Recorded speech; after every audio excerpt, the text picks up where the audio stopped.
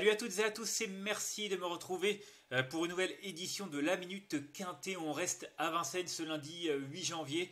Après euh, un beau quintet ce dimanche, on redescend un petit peu de catégorie, mais on a affaire à une épreuve assez intéressante avec le prix de l'Aveyron, hein. première épreuve de cette réunion principale prévue à 13h55. Des juments de 7 à 11 ans n'ayant pas gagné 261 000, un recul de 25 mètres à, 151 000, pardon, avec 16 concurrentes au départ, 2850 mètres à parcourir euh, sur la grande piste, et donc euh, un recul à partir du numéro 7, hein, Franceville, une Franceville d'ailleurs qui n'aura que très très peu d'ambition, c'est sans doute euh, l'une des rares juments qu'on peut interdire dans cette course. En tout cas, on a affaire à un lot qui est assez intéressant. Et c'est vrai que j'ai pris l'option de m'intéresser aux juments du deuxième poteau qui, à mon sens, euh, semblent les plus aptes à lutter pour la victoire, notamment les plus jeunes, avec euh, pour commencer le numéro 12, Histoire d'Una, qui vient de très très bien courir euh, en dernier lieu. D'ailleurs, c'est l'une des courses références. On en a quelques-unes des courses références, des juments qui se sont déjà affrontés régulièrement. En tout cas, Histoire d'Una, qui vient de terminer deuxième du prix de Salvanac.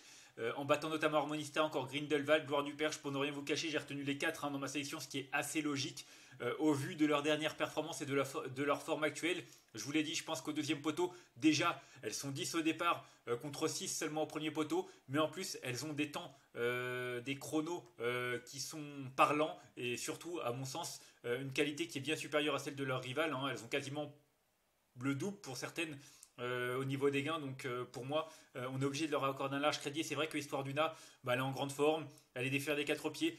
Antoine Marion qui a trois concurrents euh, dans cette épreuve. Les trois qui ont euh, une chance, hein, mine de rien, il faut vraiment s'en méfier, mais c'est vrai que Mathieu Abrivard est en général la monte prioritaire euh, chez cet entraîneur, et le fait qu'il soit sur Histoire d'Una, outre sa dernière performance, ça lui confère un autre atout supplémentaire, et pour moi, c'est une toute première chance. Ensuite, j'ai retenu le 13 Grindelwald. Alors, vous l'avez vu, elle a terminé quatrième de la course référence, le prix de Salvagnac. Mais euh, ce qui n'est euh, pas marqué, c'est sa fin de course. Elle s'est retrouvée très mal embarquée dans le tournant final derrière une jument qui avait plus de, plus de ressources. Et pour finir, elle a vraiment très très bien sprinté côté corde euh, pour venir arracher la quatrième place. J'ai vraiment beaucoup aimé sa, ligne droite. Et c'est vrai que là, déféré des quatre pieds, encore une fois, elle a retrouvé du moral. Hein. elle avait déjà gagné l'avant-dernière fois sur une distance plus courte. Alors c'est vrai qu'il y a ses cadettes, mais elle a prouvé en dernier lieu qu'elle été capable de rivaliser avec elle.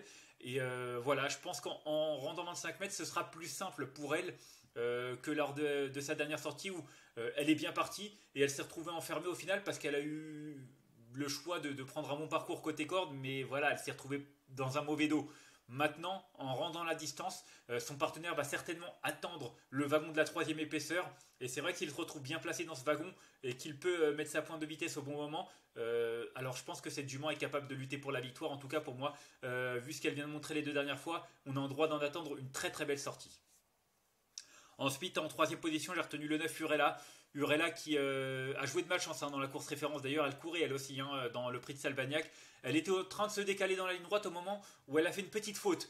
Il faut vraiment pas la condamner là-dessus euh, parce que derrière elle a vraiment bien, elle s'est bien relancée malgré cette faute. Elle a je crois passé le poteau en sixième position, euh, cinquième ou sixième position, je ne me souviens plus exactement. Dernièrement, euh, elle a couru il y a quelques jours, elle a fini septième, mais bon, le lot c'était vraiment pas le même. Il y avait vraiment une opposition bien plus relevée. je pense que cette sortie lui a quand même fait du bien et lui a permis euh, de euh, se maintenir en forme euh, pour cet engagement qui est quand même assez favorable.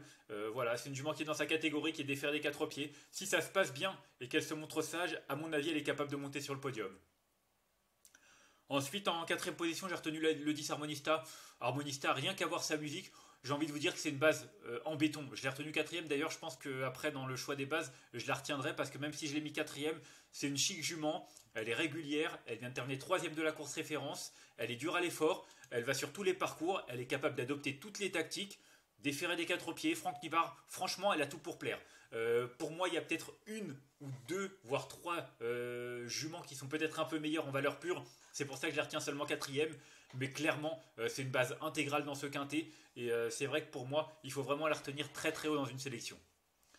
Ensuite, en cinquième position, j'ai retenu le 14, Gloire du Perche. Elle a très bien couru, hein, elle aussi, dans la course référence. Elle s'est rapprochée par le wagon de la troisième épaisseur. Elle est longtemps restée en dernière position. Et elle s'est rapprochée, puis finalement le wagon de la troisième épaisseur, de la troisième épaisseur, je vais y arriver, ne progressait pas véritablement et du coup elle a dû se décaler dans le tournant final. Elle a regagné beaucoup de terrain pour finir. Elle termine cinquième dans une très belle action et voilà, j'espère que ça va mieux se passer pour elle. De toute façon, là le wagon de la troisième épaisseur, quoi qu'il arrive, je pense qu'il va avancer. Euh, pourquoi? Parce que en tête, euh, mis à part là, c'est Nika Dulupin qui est capable de prendre les, choses en main. Euh, derrière il n'y a pas grand chose. Il n'y a pas grand chose à se mettre sous la dent, peut-être Aïda Dubélé, mais euh, du coup, euh, lorsque le wagon de la troisième épaisseur et lorsque les concurrentes de 25 mètres vont leur tomber dessus, à mon avis, elles ont bien du mal à résister. Et euh, c'est vrai que cette gloire du Perche, si elle se retrouve en bonne position dans le wagon de la troisième épaisseur, un petit peu comme pour le numéro le numéro 13 Grindelwald, elle est vraiment capable de réaliser une très belle fin de course et, pourquoi pas de monter même sur le podium. Hein. je l'ai retenue en, sixième, en, cinquième position, pardon, mais si elle venait à finir 3 4 il n'y aurait pas à crier au scandale. Ensuite, je suis parti au premier poteau, je vous l'ai dit, euh, sixième position, avec le 6 Aïda Dubélé qu'il faut reprendre en confiance. Hein. Euh, c'est une jument euh, qui a montré des moyens, qui, qui est associée à Eric Raffin, qui est déféré des quatre pieds, qui est super bien engagée. Hein. le recul est à 151 000, je crois. Elle a 147 000 et des poussières. non, c'est un très bel engagement. Et le fait de faire appel à Eric Raffin, c'est vraiment un signe de confiance.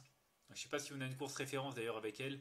On a Aida Dubé qui a battu Arassante. Voilà, les jugements du, premier échelon qui se sont souvent affrontés, enfin qui se sont déjà affrontés en tout cas. Et euh, c'est vrai que là, euh, je pense qu'au deuxième poteau, les, juments sont meilleurs, mais elle, sur, ce qu'elle est capable de faire, euh, et avec son avantage initial, je pense qu'elle est capable de conserver un lot à l'arrivée.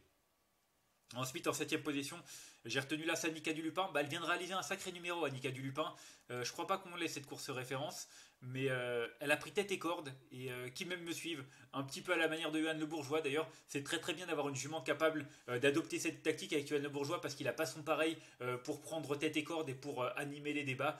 Et c'est vrai qu'il vient de très bien elle vient de très bien courir. Elle a été battue pour le premier accessible tout à la fin, mais elle a quand même très bien tenu sa partie. Alors là, l'opposition est quand même de choix, hein, vous le voyez. Elle a trois fois moins de gains que les juments du deuxième poteau quasiment. Donc euh, clairement, au niveau des gains, elle semble un petit peu euh, en dessous. Maintenant, euh, la forme et vous le voyez, toutes les disqualifications qui sont mettre à son actif, c'est certainement une, jument qui est en retard de gain, mine de rien. Et faut s'en méfier. si elle prend tête et corde, elle est capable de mener la vie à ses rivales. Peut-être pas capable de terminer sur le podium, mais si elle venait à terminer 4-5e, je ne serais pas étonné. Et enfin, en 8 position, j'ai retenu le 16 Guardia, troisième atout de Antoine Marion dernièrement, ça s'est vraiment pas bien passé. C'est la première fois euh, depuis un an qu'elle est sortie des cinq premières. Donc franchement, faut pas la condamner là-dessus. J'ai revu la course. Euh, elle s'est retrouvée loin durant le parcours. C'était impossible de revenir. Euh, ça vaut, cette sortie reflète vraiment pas sa, sa, sa, vraie, sa vraie valeur. Et en plus, elle découvre un engagement favorable. Alors cette fois-ci, elle va se retrouver aussi, je pense, à l'arrière du peloton, mais euh, la différence, euh, c'est qu'il y aura sans doute des juments pour la ramener et elle est capable de finir vite. Franchement, je pense qu'il faut la racheter. Je l'ai retenue seulement huitième parce que faut faire des choix, parce qu'en Mathieu Abrivard, on choisit une autre. Voilà, c'est une 8 ans face à des 7 ans aussi. Mais en théorie, elle, a le droit de finir dans les 5 premières. Et enfin, en, en 4 non partant, j'ai retenu le 8, Grette Tigresse. Je l'adore. Alors vous le voyez, ses dernières performances, c'est pas transcendant. C'est une super jument, Grette Tigresse. À mon sens, elle vaut même un tel lot. Maintenant, elle est caractérielle. Euh, elle fait souvent la faute au mauvais moment. On l'a souvent vu dans le tournant final se rapprocher avec des ressources au moment où elle se montrait fautive. Donc voilà, c'est compliqué. C'est compliqué de la retenir avec ce qu'elle montre en ce moment. Mais quand on fait un champ rugby, on est obligé de la prendre. Euh, on est obligé de la rajouter dans une, dans, une telle combinaison parce que c'est une jument qui est largement capable de figurer à l'arrivée d'un tel quintet. Et même si c'est un regret de ma part, attention, c'est un vrai regret. Et je pense qu'elle est capable de jouer un drôle de tour à ses rivales si elle se montre appliquée. On va faire un petit récapitulatif de ma sélection avec le numéro 12 Histoire d'Una que j'ai retenu devant le 13 euh, Grindelwald, en troisième position le 9 Urella, euh, devant le 10 Harmonista, le 14 Gloire du Perche, ensuite en sixième position le numéro 6 Aïda Dubélé, Devant la Annika Dulupin et le 16 Guardia. Et en cas de non partant, le numéro 8 Gret Tigresse. je vous l'ai dit en conseil de jeu, pour moi, 12 et 13, l'histoire d'Una et Grindelwald ont très très bien couru en dernier lieu, euh, l'une comme l'autre. Et pour moi, euh, vu ce qu'elles viennent de montrer, ce sont deux bonnes bases, tout comme le 10 Harmonista qui a également fait l'arrivée de la course référence, qui s'est intercalé entre ces deux rivales.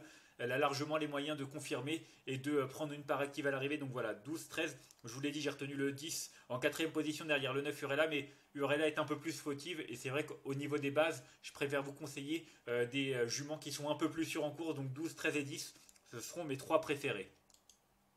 On va faire un petit tour du côté de nos deux rubriques également, un top pronoture sélection. C'était un petit peu difficile hein, vendredi et samedi, pas mal d'outsiders, mais voilà quelques trios qui ont été indiqués de part et d'autre, des coups de cœur, des sélections de couplets également qui font l'arrivée. Donc voilà, vous pouvez tester nos deux rubriques à partir de 1 euro par mois, c'est l'offre découverte, c'est le premier mois et c'est sans engagement. Donc n'hésitez pas d'ailleurs, vous avez le lien dans le descriptif de cette vidéo pour y accéder.